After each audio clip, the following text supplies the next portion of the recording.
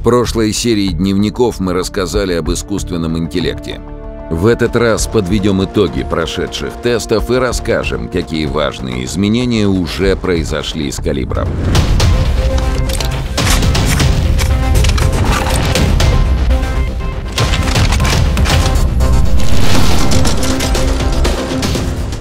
Альфа-тестирование длится уже 5 месяцев. За это время разработчики с помощью 5000 игроков проверили и улучшили технологии, а также внесли существенные изменения в игровые механики. Альфа-тестирование проходит так. Разработчики готовят версию, в которой планируют проверить свои гипотезы. Игроки играют в нее. Затем пишут впечатления и отзывы на форуме. Но в таких сообщениях обычно очень много эмоций. Все игроки приходят со своим игровым опытом и своими ожиданиями от калибра. Если не соответствует, то нате разрабы ловите разгромные посты значит, на форуме о том, чем это хуже всех игр, в которые я играл. И наоборот, если ожидания совпадают, игрок именно этого хотел, у него получается играть, он получает удовольствие, то мы, конечно, получаем позитивные посты, типа, ребята, так держать, э, все классно, мне все понравилось, дальше идет но, и там вот это, вот это, вот это все равно поправьте, но типа, типа классно. Чтобы получить объективную обратную связь, разработчики рассылают анкеты через несколько дней.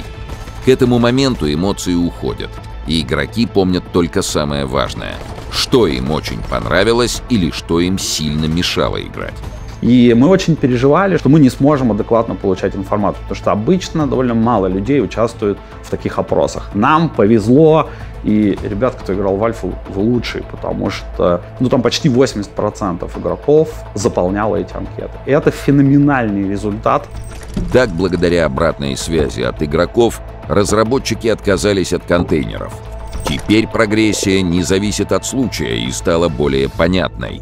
Чем больше играешь выбранным оперативником, тем быстрее открываешь новые возможности и улучшаешь его экипировку. Другое важное изменение — стрельба.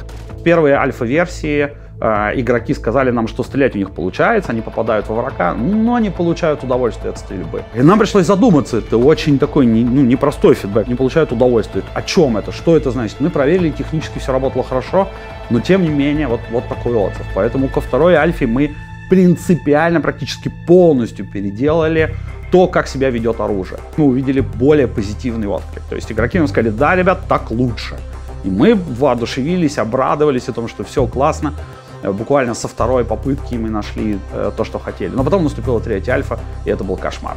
Это были самые негативные отзывы, которые мы получили. Тут мы, конечно, были в определенном шоке таком, как такое получилось, если мы видели, что все развивается позитивно, положительно, и вдруг такая проблема. Пришлось собраться, немножко полноваться, переделать техническую часть, чтобы она соответствовала визуальной, и выпустить четвертую альфу. И, конечно, когда она началась, мы там буквально смотрели форум.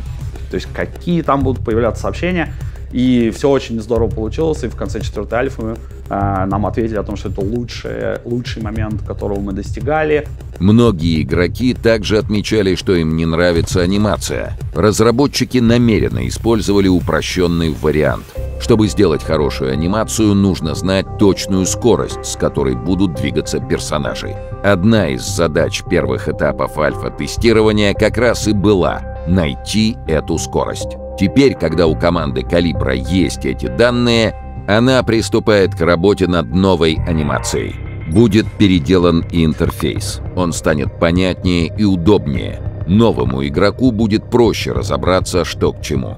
Разработчики продолжат работу и над искусственным интеллектом. Его вообще планируют постоянно улучшать и на этапах тестирования, и после релиза «Калибра». Кроме этого, сейчас ведется большая работа, что называется под капотом. Оптимизируется код игры, дорабатываются различные сервисы, ведется работа над оптимизацией. Эти изменения позволят в будущем ускорить разработку. На все это понадобится больше времени, чем обычно. Поэтому следующий этап альфа-тестирования запланирован на середину лета, и разработчики усиленно к нему готовятся, а помогают им в этом большой объем обратной связи и поддержка игроков. Анализируя результаты того, как игроки играли, мы нашли группу игроков, которая за выходные сыграла больше 150 боев каждый. И это тоже удивление было, потому что ну, мы думали, что альфа-версия все-таки она там содержит массу ошибок, проблем, там не финальное то, не финальное все. Тем не менее, оказалось, что игрокам игра нравится уже даже в этом состоянии.